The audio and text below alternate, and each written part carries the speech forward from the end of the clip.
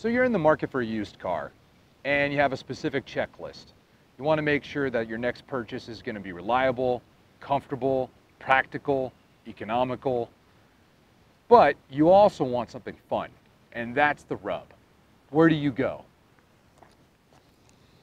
Look no further than this. This is the 2015 Ford Fiesta ST, and guess what? It's got to be fun because party is its name. And because it's an ST, it is the performance version of this car. And I mean, really, as a used car right now, these things are about eight to 15 grand. That's, that fits into anybody's budget. So I'm really excited about going out for a drive, really experiencing it, and investigating doesn't meet all those checklist items. So we're gonna go do that right now.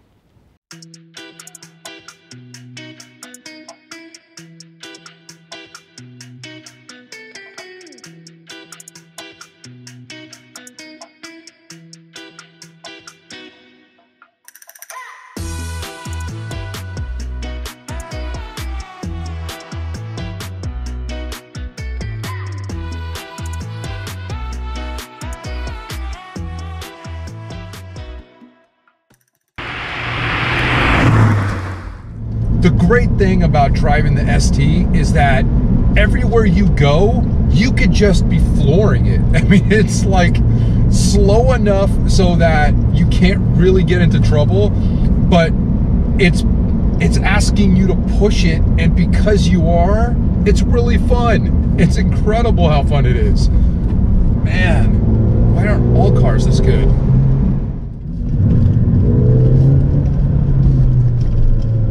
You know, heel toeing in this car for me is actually a little difficult because the pedals are just a little far away, but uh, it is doable and when you get it right, it, it just rewards you really nicely. I mean, you, you feel like you worked for it and maybe that's part of the car's charm.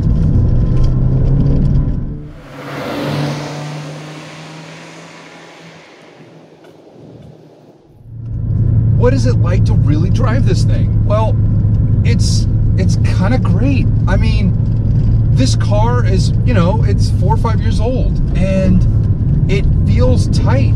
You don't really hear any rattles. There's, you know, there's a very purposeful feeling in how the car drives. I mean, I steer and I know this is a front wheel drive car and I expect maybe a little bit of roll or push. No, nothing. This thing just sticks. It's great. And the funny thing about it is, I feel like it's, I feel like it's purposely designed to be chucked into corners. And I bet you I'm lifting, a, I'm probably lifting a wheel somewhere.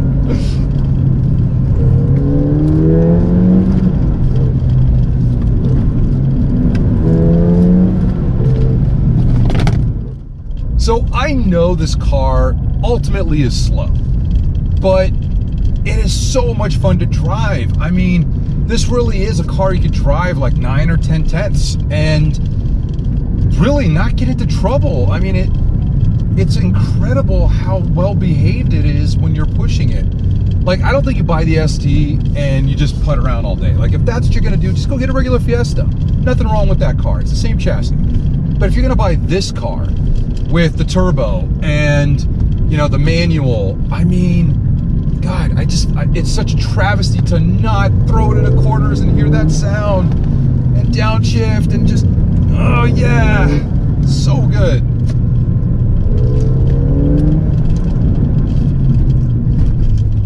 The other good thing about this car is that it's got really good boost on the braking system. When you step on the brakes the car slows down, reacts perfectly, and you need these brakes because, you know, I mean, you're going to be stepping on it everywhere. Honestly, you're going to be flooring this thing every corner you get a chance.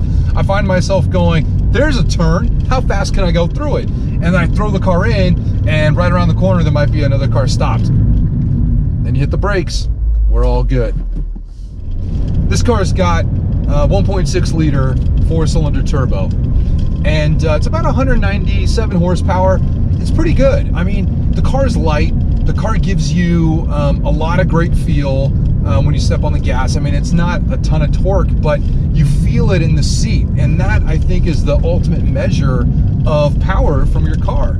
So I'm very excited to say that, you know, for not a lot of money, that's a that's something you can check off the list on the performance side of stuff. All right, guys, so that pretty much wraps up our drive in the 2015 Fiesta. And um, I guess the question remains, if you only have room for one car in your garage, is this one you should go for? Does it do everything that daily life needs us to do, like shopping and gas mileage and commuting and all that stuff, but at the same time give you that fun factor that we're all searching for? You know, I think it does. And I think there's a great use case to bring back hot hatchbacks. Ford, if you're listening, I would love for you to bring the second generation here and maybe market it a little better so that way you can get your sales figures up and make a better case to have more generations. That'd be great. Uh, anyway, guys, that's it for me on this one. Please go ahead and like and subscribe if you haven't already. That really helps the channel grow. Uh, I also really appreciate it.